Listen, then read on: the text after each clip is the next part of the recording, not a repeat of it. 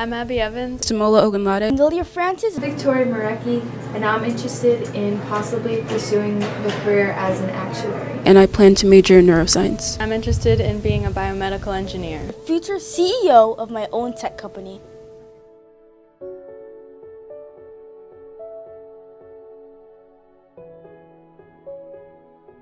It's sad that only 2 out of 10 is the result of that, but I think it's going to change. I think it's slowly changing now because all you hear about these days, especially in education for, for women, is get into STEM.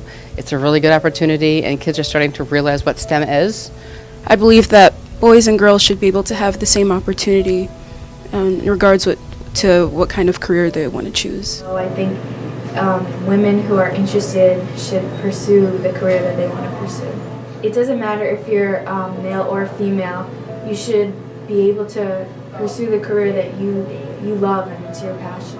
As women can be inventors and they can be interested in science and technology and, and math, especially young girls and young kids in general because they can do whatever they set their mind to and whatever they dream to be in the future if they set their mind to it. Especially nowadays, um, you say media and you think social media, and of course, boys and girls are all over social media constantly. And it's really important to get the positive aspects of media into the minds and, and have it in the forefront of what the kids in general are looking at.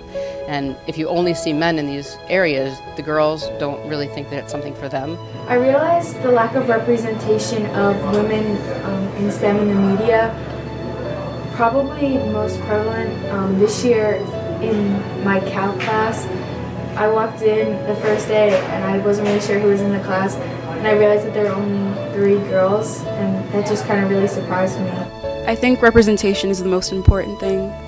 Um, little girls being able to see that it is possible for them to be interested in science and math, and they're just as good as any other boy.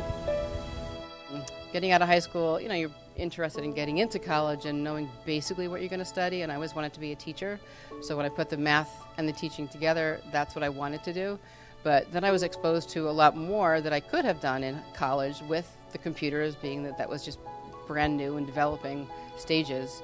And I noticed that more of the men and the boys were more interested in the engineering, and there was very few girls in my category. And at the time I graduated college, there was even fewer girls that had dropped out of that program and moved on into, into other fields. But I'd say if someone's feeling like they can't do something because there's only guys, I'd say that's wrong. There might be more, but you can definitely do it and be the first.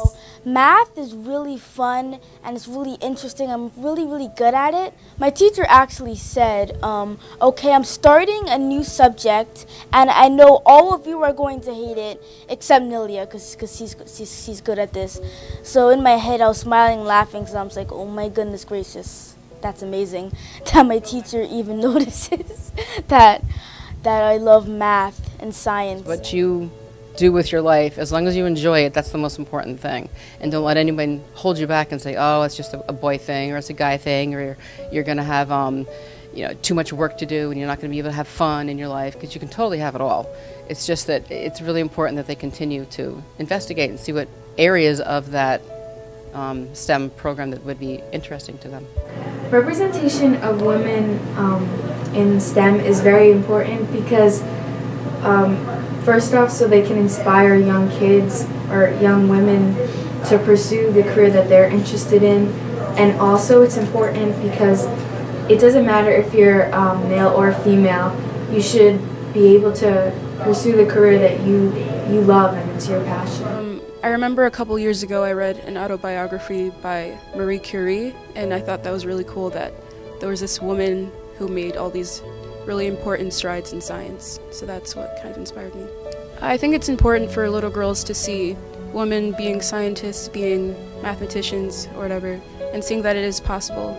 People who say that girls can't do anything challenging, I, I definitely think that they're wrong because I believe that um, women can hold the same jobs that men can, and it doesn't matter what gender you are.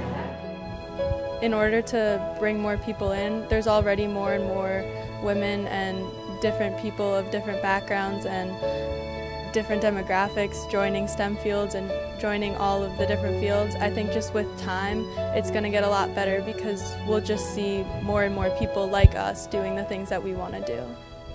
I think if someone said to my face that STEM was a man's field and women aren't capable, I probably wouldn't say anything to them because I don't want to fuel them and their ignorance. I would just show them through doing what I love and having accomplishments. I'd have to follow what Oprah said the other night, and said women are, are out there and hold on, we're coming in. And it's a wide open opportunity for women to say, uh uh-uh, uh we can do just as much as a man can. And it shouldn't be anything about just the women or the men. It should be the best person for the job.